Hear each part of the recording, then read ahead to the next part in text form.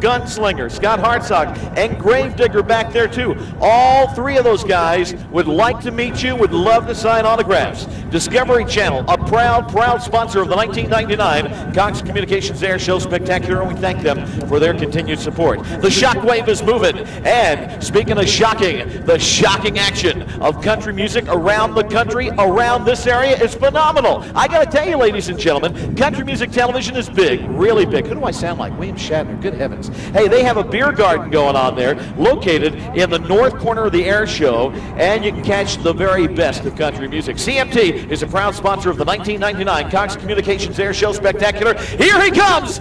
It is the one, the only Shockwave, driven by Ken Shockley.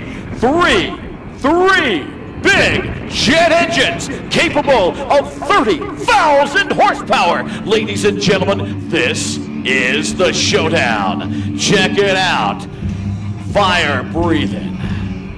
The power of sheer fire. You wonder how we cook the hot dogs, the hamburgers, and those smoked turkey legs? This is how we do it.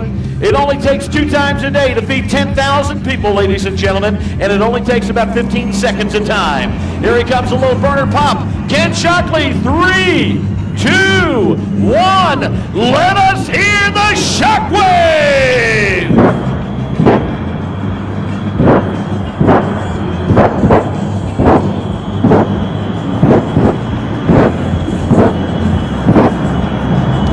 You know, the planes that you've seen today, the aircraft you've seen today, all have wings. There's a wing on the back of this vehicle. Why is there a wing on the back of this vehicle? To hold the rear end down, to stabilize the rear end so it actually keeps the rear down and the tires in contact with the pavement. If not, that thing will go wildly out of control, endangering the driver.